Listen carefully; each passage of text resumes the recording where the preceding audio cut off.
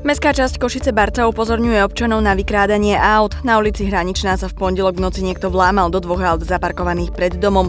Z jedného automobilu bola odsudzená hotovosť. Mestská časť opakovane žiada o zvýšenú kontrolu mestskú políciu, ktorá je ústretová a tieto kontroly vykonáva. Vzhľadom na zvýšené množstvo krádeží odporúčajú v rámci možnosti parkovať automobily na dvore, zamykať brány či dvere aj počas dňa a hlavne byť obozretný.